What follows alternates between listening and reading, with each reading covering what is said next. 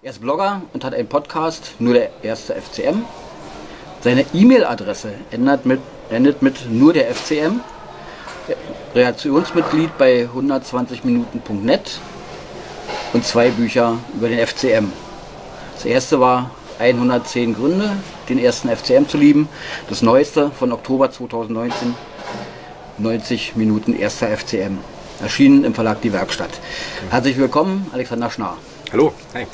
Erstmal ein bisschen kleines persönliches, 1980 geboren in Magdeburg und das erste Spiel in den 90er Jahren, Anfang Genau. der 90er Jahre gesehen. Genau. Witzigerweise gegen Union. Ach, Glaube ich. Tatsächlich. Also bin ich, mir, bin ich mir sogar ziemlich sicher. Vom Spiel weiß ich nicht mehr viel, aber äh, das drumherum war interessant. So. aber hier in Magdeburg. In Magdeburg, ja, im Ruhe. Was? Äh, zweite Mannschaft vielleicht? Nee, 90er Jahre war es nicht die zweite Mannschaft. Nee, das war die erste, das war die erste Mannschaft und das, ich meine, das war Regionalliga.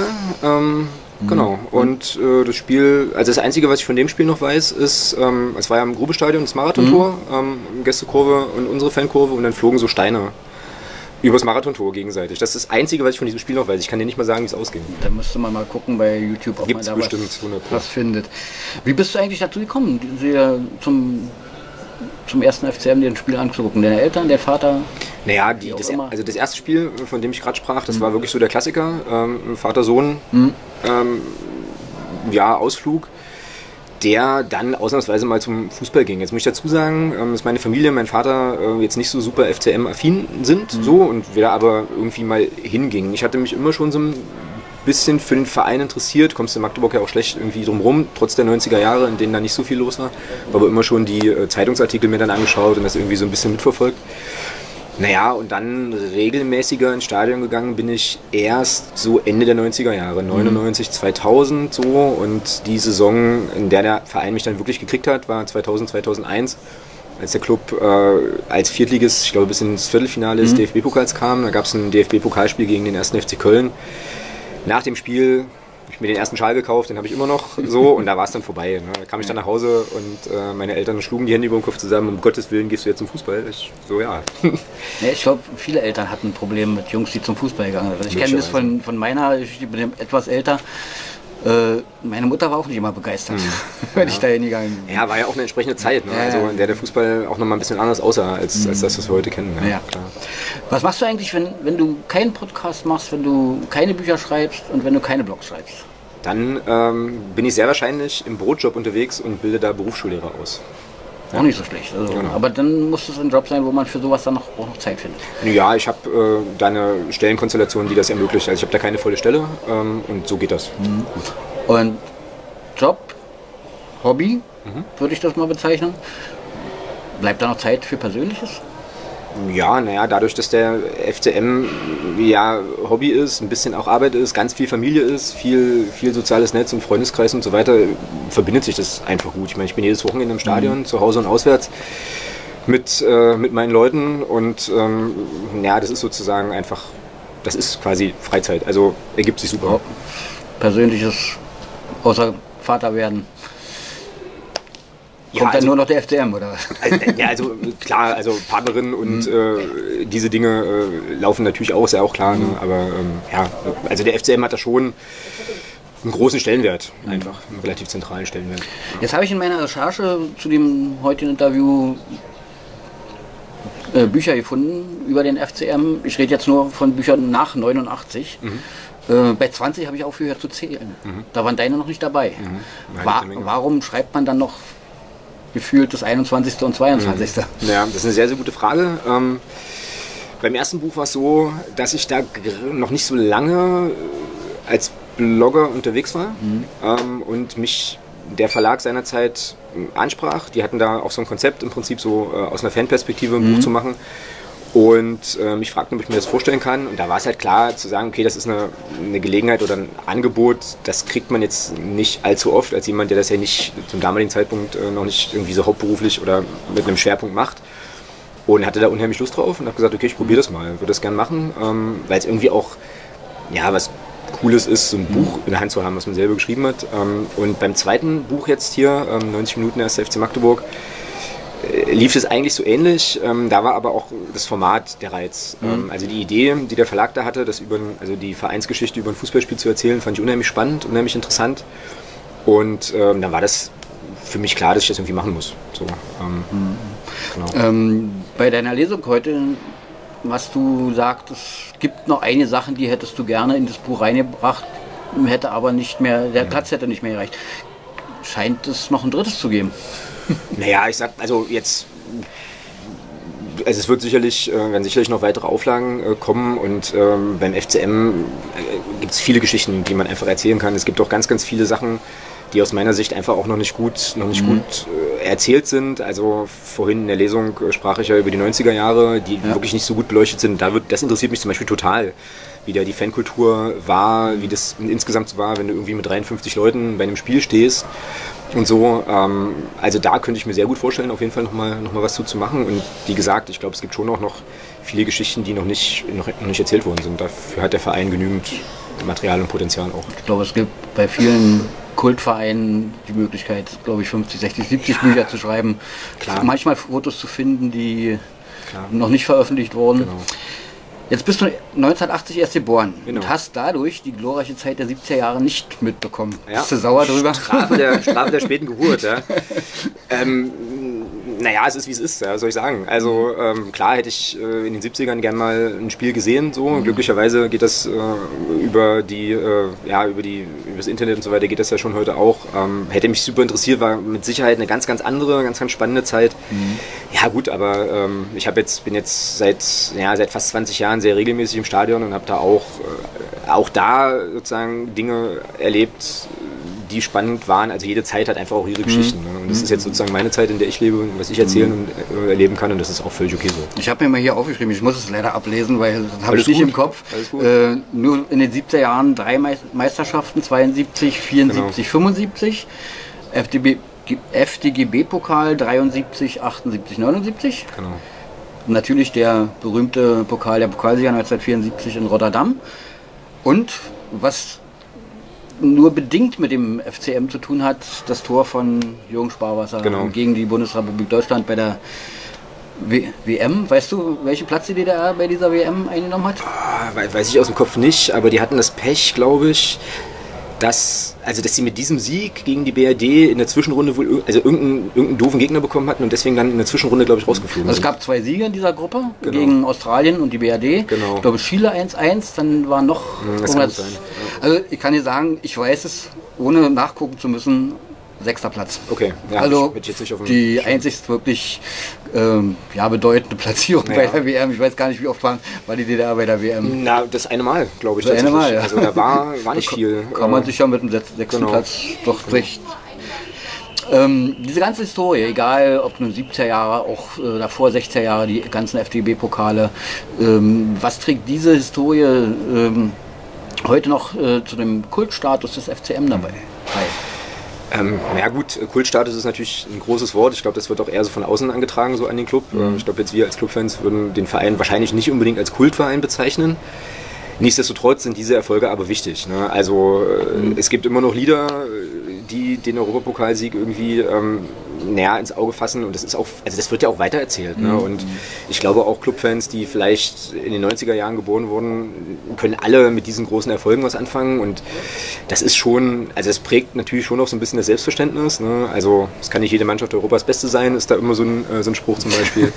äh, mit ein bisschen Magdeburger Größenwahn, das spielt schon, ähm, spielt schon noch eine ziemlich ja, es spielt für die Identität einfach eine große mhm. Rolle. War aber, äh, glaube ich, auch eine Zeit lang auch wie so ein Mühlstein so ein bisschen. Mhm. Also gerade nach der Wende, vielleicht kommen wir da nachher noch drauf, ähm, hat man sich ja als Verein schon eher als Profiklub in der ersten und zweiten Liga gesehen, hat aber eine Realität in der vierten gespielt. Mhm. Und da ist uns die Geschichte vielleicht auch so ein bisschen äh, auf die Füße gefallen, weil da vielleicht nicht genügend Demut vorhanden war, die Situation anzunehmen, so wie sie ist. Ne? Aber mhm. heute ist das, glaube ich, für die Identität der Leute ich komme ja von der Historie zur nahen Vergangenheit und mhm. zur Gegenwart.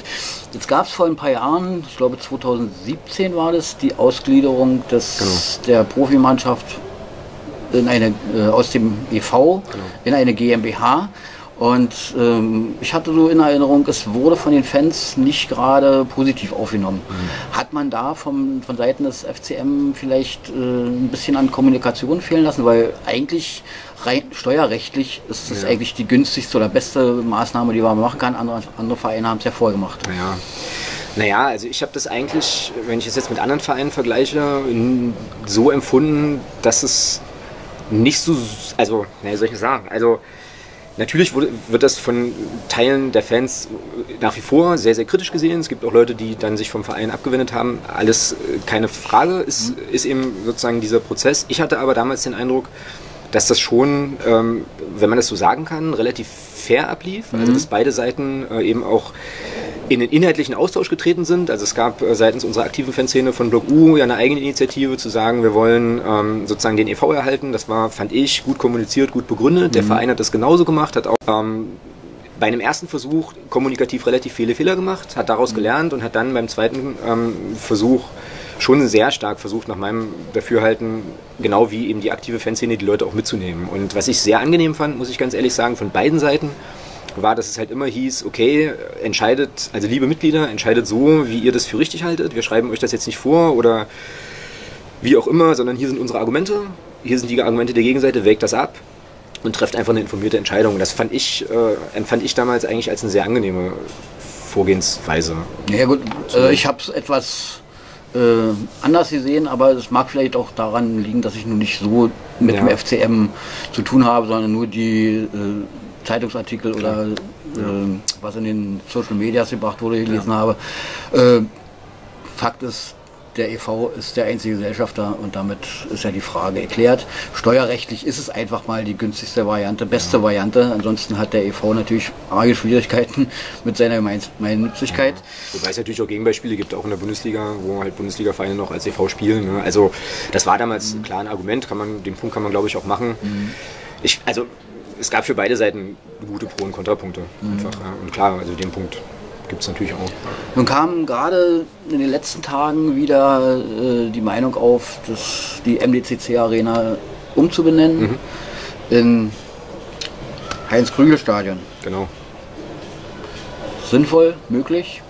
Ja, sinnvoll auf jeden Fall. Also ich glaube, da bin ich nicht der Einzige, der sich das wünschen würde, ähm, dass das Stadion ja, nach dem erfolgreichsten Trainer der Vereinsgeschichte benannt wird, ähm, der ja auch eine Statue vom Stadion hat. Äh, den Heinz-Krügel-Platz gibt es.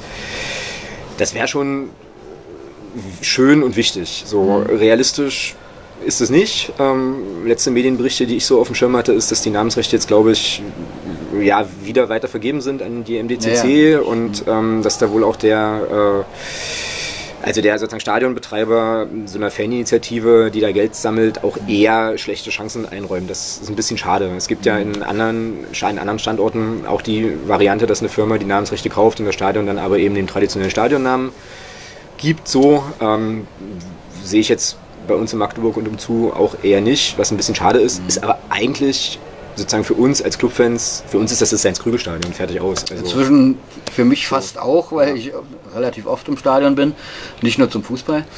Ähm, nun gab es den zweiten, den Aufstieg in die zweite Bundesliga. Mhm. Erfolgreich gefeiert worden. Ich, bei der Ankunft der Mannschaft war ich mit im Stadion, ja, ja. ich selber beim Spiel natürlich nicht. Kam es nicht ein bisschen früh? Naja, ist jetzt wieder 5 Euro ins Phrasenschwein, hinterher ist man irgendwie mal schlauer und so, ja. Ähm, nö, würde ich, jetzt ich jetzt nicht sagen, weil wenn du sozusagen so eine Saison spielst, wie wir die gespielt hatten, mhm. um dann aufzusteigen, steigst du einfach auch verdient auf. Und dann, ich meine, du sagst ja nicht, wir gehen da jetzt nicht hoch. Ne? Mhm. So, äh, Haben wir ja in anderen bei anderen Vereinen auch. Ja, und ob das jetzt zu früh war oder nicht, klar, da kann man jetzt drüber, drüber streiten. Fakt ist, ähm, naja, das also ist ja auch bekannt, dass wir es dann halt irgendwie relativ deutlich am Ende auch nicht gepackt haben so mhm. und uns glaube ich auch diese Zweitligasaison noch nachhängt, so irgendwie immer noch. Ja, viel liegen gelassen an Punkten, wo man hätte sagen ja. können, da die drei Punkte wären eigentlich, ja. aber also ich, ich, glaube, ich habe irgendwo was gelesen, wenn wir, wenn die Spiele alle nach der 80. Minute abgepfiffen worden wären, wären wir locker drin geblieben. Also wir hatten ja, immer das so, große Glück, so kam in, es manchmal rüber. In den letzten Minuten immer noch doofe Tore zu kassieren. Heute, ähm, diese Saison so. sieht es genau andersrum aus. Ja. ja. diese Saison ist aus anderen Gründen problematisch, aber. Äh, kommen, wir, kommen wir gleich mal zu dieser Saison. Platz 14. Genau. Nur vier Punkte vor dem neunten Platz, hinter dem neunten Platz, Entschuldigung. und glaube 10 Punkte nach unten. Na, ich glaube andersrum. Ich glaube, wir sind vier Punkte vom Abstiegsplatz. Und relativ weit, also wir haben nach oben relativ viel. Also ich glaube, der HFC hat nur vier Punkte mehr Ja? und steht auf dem 9. Ich glaube, ich habe nachgeguckt. Nach dem letzten Spieltag in Meppen. Ja, ja. Okay. Und nach unten ist es, glaube ich, so 9, 8, 9 oder 10 Punkte. Also ich möchte mich nicht streiten, aber ich glaube, bis, Könnten- bis zum 9. Platz sind es bloß vier Punkte. Könnten wir jetzt nachgucken. Aber auf jeden Ja. Fall 14. 14. Platz, ja. Ähm, genau. Kommen wir zur letzten Frage. Hm. Vorhin haben wir es ganz kurz angesprochen. Marius Bülter. Mhm. Erste Bundesliga, ausgeliehen. So ein Mann fehlt jetzt. Ja, klar. Also ist ein Mann mit der Qualität. Also ich meine, Marius Bülter ist nicht umsonst Stammspieler bei Union. Der kann schon ein bisschen Fußball spielen. Ähm, gar, keine, gar keine Frage. Und äh, ja, selbstverständlich äh, würde der uns natürlich helfen. Ist ja ganz, ganz logisch. Äh, aber ich gönne dem Jungen alles. Also ähm, gönne ihm das wirklich von Herzen, dass er sich da oben ähm, tatsächlich etablieren konnte. Ist ja eine irre Geschichte. Die passiert, glaube ich, einmal alle 20 Jahre vielleicht, dass da ein Junge aus der vierten Liga in der zweiten gleich so durchstartet und dann in der ersten auch Fuß fasst. Ja, also er hat uns eine Saison lang äh, sehr, sehr viel Freude bereitet. Ähm, Ich glaube, er bereitet den Menschen, die beim FCM jetzt irgendwie auf die Finanzen gucken, jetzt immer noch Freude. so, weil da gibt es ja jetzt irgendwie, steht wohl noch eine Ablöse im Raum und so. Klar würde der helfen. Ähm, War damals ein, su- ein super Scouting-Job, ähm, ihn zu holen. Aber ja, er ist jetzt Spieler von Union. So. Nur ausgeliehen. Ja, Bis aber jetzt mit Kaufoption. Ja, aber äh, Marius Bülter wird für den ersten FC Magdeburg nicht in der dritten Liga spielen. Da, Soweit lehne ich mich jetzt mal aus dem Fenster, äh, dass das wohl nicht passieren wird. Ja. Ja, Was natürlich schade ist, ja, aber Ja, die eine oder andere Frage hätten wir sicherlich noch zu beleuchten. Das würde ich sagen, vertagen wir auf ein anderes Mal. Sehr gern. Vielleicht, wenn das dritte Buch rauskommt. sehr gern. Wir bedanken uns bei der Otto von Gericke Buchhandlung hier im Börderpark Magdeburg und natürlich auch bei deinem Verlag Die Werkstatt. Bei dir auch. Vielen Dank für die Sehr, Zeit, sehr die du dir genommen hast. Bis zum nächsten Mal. Danke Alles klar. Bis dahin. Bis dahin.